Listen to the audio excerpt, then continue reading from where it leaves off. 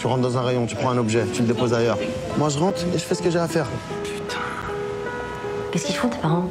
Mon père, il travaille dans une brasserie. Et ta mère? Elle est pas là. On va appeler ton père, c'est tout. Pas mon père. Je pensais en avoir fini avec euh, le rapport père-fils, mais en fait, je me suis bien rendu compte que la difficulté de communiquer entre un père et un fils, euh, comment deux êtres si proches euh, qu'un père et un fils puissent à la fois être étrangers l'un à l'autre, euh, m'obsédait. Comment, euh, comment la pudeur, euh, comment la pudeur, euh, comment on se planque derrière la pudeur, qui veut pas pour autant dire euh, qu'on a de l'indifférence pour l'un ou pour l'autre. Voilà, ça, ça m'intéressait beaucoup à raconter. Comment derrière tout ça, euh, euh, tu, découvres euh, un, amour incommensurable d'un père pour son fils et. C'est- c'est- Ça, c'est quelque chose qui, me, tient à cœur et, que je trouve passionnant euh, ouais, réfléchir. Enfin, pa- passionnant dans le sens... euh, euh, voilà, c'est- y a- y a- j'ai pas de réponse en fait. 3099 euros.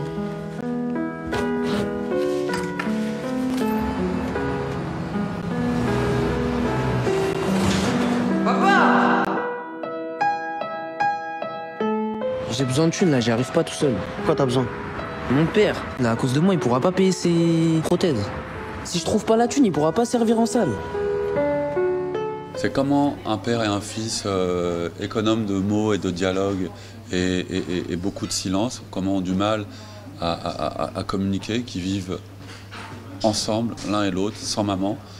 Co- co- comment ce cercle, comment ce cercle, euh, comment ce rapport plutôt euh, de silence va s'interrompre parce qu'un jour, le gamin va se laisser entraîner à faire une énorme connerie. Ce qui va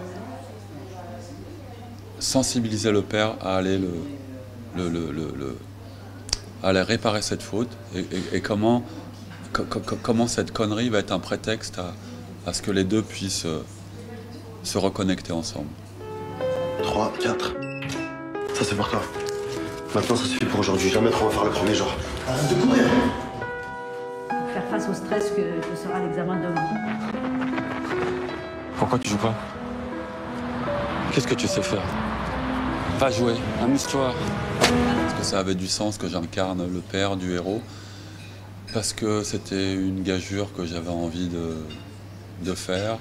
Parce que, parce que ça avait du sens pour les gens qui travaillaient autour de moi. Enfin, que ça, ça- que ça avait du sens pour le film, j'entends. Parce que. Parce que. Parce que voilà, quoi. Qu'est-ce que tu fous dehors tout seul Je pense. T'es un rêveur en fait. une consolation aussi de toute cette année de, de disette et de, et de confinement.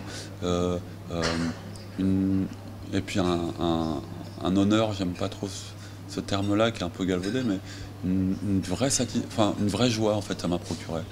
Et à la fois euh, assez euh, tombé des nues quoi, de, de, de- de- ces de ces prix à Angoulême, de, ce prix à Angers, d'un prix à Rome. De, non, mais je suis super heureux. En fait, je suis extrêmement heureux. Je fais un peu le con là, mais, mais je suis un peu, euh, ouais, un peu très reconnaissant.